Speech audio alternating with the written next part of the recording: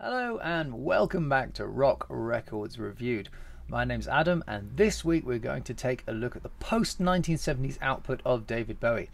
I think it's fair to say that most people would agree that his best work was done in the 70s, certainly his most consistent work, uh, and we've looked at that in another show previously. Um, but uh, post 1970s, uh, his work was much patchier.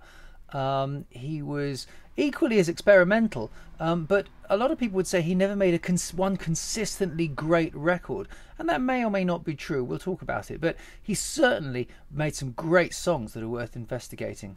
Um, at times, some of his output was almost ridiculed. Um, uh, mentioning no names, Tin Machine. Um, but uh, that seems almost ridiculous now that he's kind of been deified since his death. But we've got a lot of records to get through, 15 records to get through, including Tin Machine. Um, so let's get straight into it. Um, at number 15 from 1984, um, his 16th album, Tonight. Now, Tonight was the follow up to the hugely successful Let's Dance, which was his biggest seller up to that point, and uh, propelled him into the sort of multi million uh, selling uh, artists category. Um, I think by his own admission, this album was driven by commerciality. He sort of lost his way a little bit. There's a couple of good songs, Loving the Alien and Blue Jean is a nice pop song, but there are a lot of covers, they're not very good covers. The whole thing sounds a bit like somebody else is in control, and I think that's exactly what was happening. Tumble and Twirl, Neighborhood Threat, these are poor Bowie songs. Um, and, and and God only knows. There's a cover on here of God only knows. It has nothing to the original. Um, Rolling Stone gave this album one star out of five, which gives you a very good idea of, of uh, just how good or bad it may be. And number 14 from 1997, his 20th album, Earthling. Now, Earthling is an interesting Bowie record because he uh, it's a it's a drum and bass record. Um, other words used to describe it are techno, electronica, jungle. I have to admit, these are not uh, types of music I have a great deal of in my record collection. Um, but I have a theory about artists that if you buy into an artist um, wholeheartedly, then you go with it, you go up and down through all the good and bad records they've made. So if you follow people like Dylan and uh, Neil Young and David Bowie, then you're inevitably going to come across some more challenging records. But you stay with it, you wonder why they made them. You try and understand what uh, motivated them. And for Bowie, he is an artist, so I, I, I listen to this record a lot, and it really just isn't my thing. I'm Afraid of Americans is is a good track. Little Wonder isn't bad. Um, but it kind of got a lukewarm reception because I think, you know, even in the style that it's uh, trying to be, it's perhaps not necessarily the best example of those genres. Uh, at number 13, Tin Machine 2 from 1991. Tin Machine was the band Bowie put together to just try and find his mojo again. Um, after sort of being caught up in the corporate world of, of, of, of million selling records in the 80s um, and, and other people dictating what he should be doing, I think he just wanted to break free. So he put a bunch of guys together and made a couple of records. This was the second of them from uh, 1991. Um, uh, Goodbye, Mr. Ed, and Shopping for Girls are really good songs, I think. Um, uh, it's a bit more melodic than the first Tin Machine record, uh, but there are a lot of songs on here that weren't written by Bowie, and, and as such, it, it, it doesn't feel completely like a Bowie record, even though he's playing on it and singing on it. Uh, it sort of it feels like a band record, which I think is what he was going for, but uh, not particularly good one. Uh, and number 12 from 1999, his 21st album, Hours. Um, this was the last of his uh, records for EMI, and this was also the first album ever to be fully available as a download on the internet. Bowie was always very ahead of the curve with technology and things like that. It was his first album in 27 years not to make the top 40, which gives you a good idea of just how off the radar Bowie had fallen. Um, there's nothing unpleasant on this record at all, but at the same time, there's nothing about it that sticks to the wall whatsoever. Thursday's Child was the single, and I'm sure you don't remember that at all. Um, and I hate to say, but in the words of uh, Villanelle from Killing, Killing Eve, um, this record is boring. Um, and that's an awful thing to say about an artist such as David Bowie. Um, from number 11 uh, from 1989, uh, the first Tin Machine album.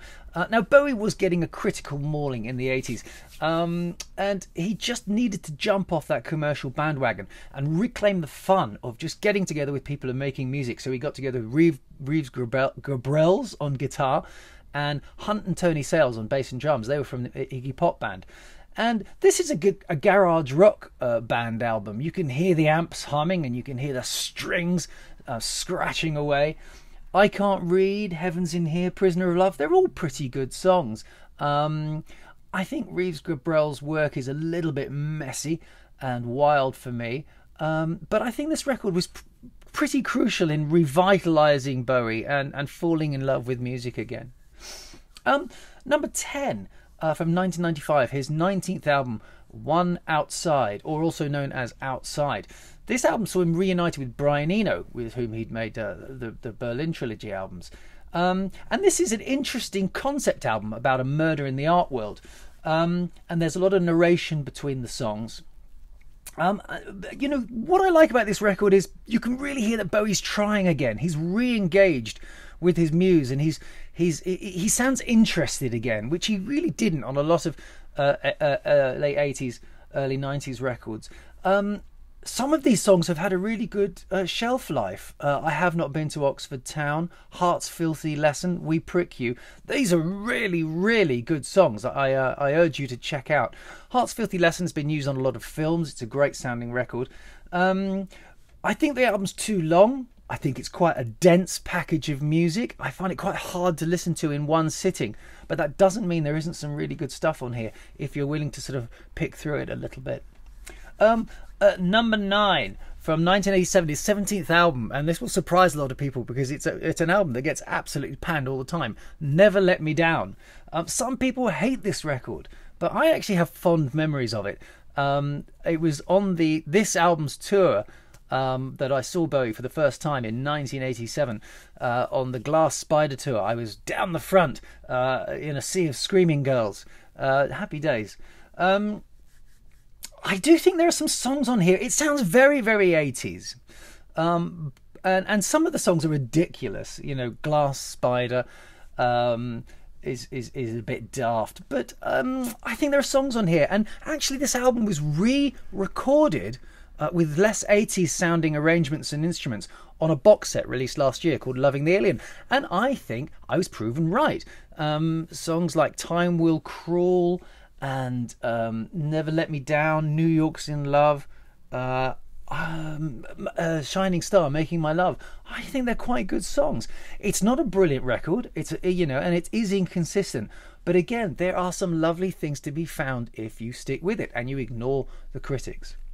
Uh, number eight, 1993, Buddha of Suburbia. Now, this is an interesting one because this was originally released as a soundtrack to a Hanif Kureishi TV series. Um, but this was a really important record because he'd just come out of Tin Machine and people were wondering what he was going to do next. And he just released this and it went completely under the radar. But there's some really good stuff on here. The title track, Buddha of Suburbia, Dead Against It, Strangers When We Meet. And there's some very, very good, very Bowie-ish experimental sort of art jazz on here as well. Um, I, I think that uh, you know this was an important record in, it for Bowie fans because it was like, yeah, hang on a second, there's some there's some good stuff on here. He's still got it. He hasn't gone and thrown it all away like he'd done with um, Tonight, and he hadn't uh, you, you know, he wasn't sort of too bogged down in Tin Machine. He'd cast all that off, and it sounded like he was a little bit more re-energized again. Um, Bowie's actually himself said that this was one of his favourite albums he ever made, and in 2007 it was re-released as a proper album. Um, because it had barely got any notice on its first release, so it had a, a new artwork and everything. Um, from number seven from um, 2003, his 23rd album, Reality. Uh, but so by now the Renaissance is kind of in, in full flow. Um, the album prior to this, Heathen, had been well received because he joined up again with Tony Visconti and his classic producer from the 70s, and they carried on this relationship through to reality. Um, this has got some really good songs on it New Killer Star, Fall Dog Bombs the Moon, Bring Me the Disco King, Looking for Water. Uh, it's littered with really, really fine Bowie songs. Um, there's also a George Harrison tribute in Try Some, Buy Some, a cover. Um, there are some great vocals on this record. Bowie was rediscovering his voice. Apparently, he'd given up smoking for this record and was finding his range again. Um, but this is a very, very solid uh, post 1970s David Bowie record. And in fact, all the records from here on in, um, I heartily recommend anyone goes to check them out if you're unfamiliar with uh, his his uh, his um, more um, what's the word um, unheralded work. I think is probably the best way to say. Number six, 1993, his 18th album, Black Tie White Noise. So for this album, he reunited with Nile Rodgers, with whom he'd had all that massive commercial success on Let's Dance. So expectations were, were sky high. Um, this isn't a bad record at all, but it is fatally too long. And if you watch my um, shows regularly, you'll know how much I despair when an album goes over 45 minutes. Um, but its best moments are very, very good. Um, Jump, they say, was the single. Black Tie, White Noise. Miracle, Good Night. Um, there's a fantastic cover of uh, Morrissey's I Know It's Going to Happen Someday. Um, and there's an awful cover of Cream's I Feel Free, um, which was the last time he ever recorded with Mick Ronson, who's on guest guitar.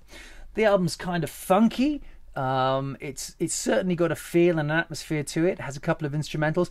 I, I really like it, but I like it on CD where I can skip forward a couple of the less um, less pleasant moments. Um, at number five from 2002, his 22nd album, Heathen. Now, um, this was the album I was saying earlier. He was back with Tony Visconti, and this and Reality are often sort of seen as a brother and sister album. Um, what's great about Heathen is he really sounds he sounds focused. Excuse me. He sounds focused. Um, the sequencing is much much better than we've had before. It just sounds like he's just more interested in the whole thing than he has been for years. Though his vocals are great. Everything stepped up a level here. Slip away, 515, the angels are gone.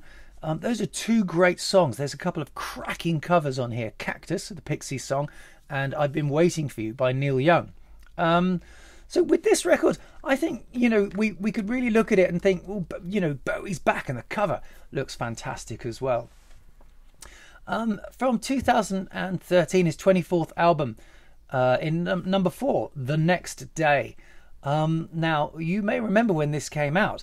Um, Bowie had been away for 10 years, and in those 10 years, there had been all sorts of rumours about his health and about uh, where he was. But he was living in New York, and as we later found out, he was having health problems, of course. Um, I cannot begin to tell you how excited I was to uh, know this when I when I heard this album was coming out, and when the single "Where Are We Now" dropped. Uh, it just it was extraordinary because where are we now is one of bowie's most beautiful pieces of music and that is saying something for a man who's had that long a career it was uh, you know, I, I, it was it was it was joyous to hear him come back with a song that good, that moving, that profound. All those years, um, he'd been away. It seemed like he was distilling all that wisdom and beauty into those few minutes of music. It was it was wonderful. The record itself is kind of a rock record. He's back with Tony Visconti. Um, it's a muscular sounding record, um, and it's it's fair to say it's not consistently brilliant all the way throughout. But again, there are some brilliant moments. Um, you've got uh, the uh, stars are out tonight, uh, Valentine's Day, the title track the next day.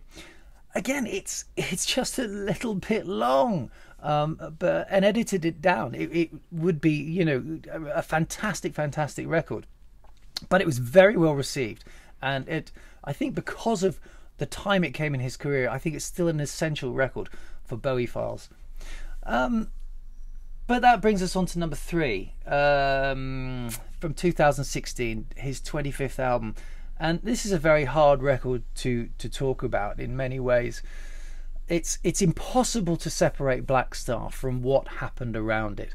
Bowie dropped this album on us out of nowhere uh, on his 69th birthday in 2016, January and we heard it and we were overjoyed because it was a brilliant record. It was interesting. It was it, it, there were some things we hadn't heard before in, in anyone's music. It was Bowie again at the cutting edge of creating new sounds and styles.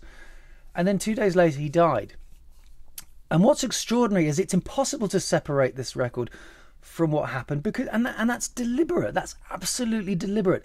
I think as an artistic statement, this is one of the greatest ever made by an artist, and I, I, I don't say that lightly. I think in any in any art uh, walk of art, um, this is one of the greatest statements an artist has ever made. Um, it was so brilliantly conceived. It was carefully conceived from the the, the songs through to the artwork, through to the timing. Um, it's his swan song. It's his parting gift. He doesn't want us to disassociate the music from his death. The whole thing is all part of the same package. It won bags of Grammys and accolades and bucketfuls of um, uh, awards and things. But does it stand up as an album? Well, I think it does. I think the truth is it's a brilliant record. Um, he joined up with Donny McCaslin's jazz combo in in New York and they created this jazz art rock, which just sounds fresh and it sounds new. Um, Blackstar, Tis a Pity She's a Whore, Lazarus, um, great songs.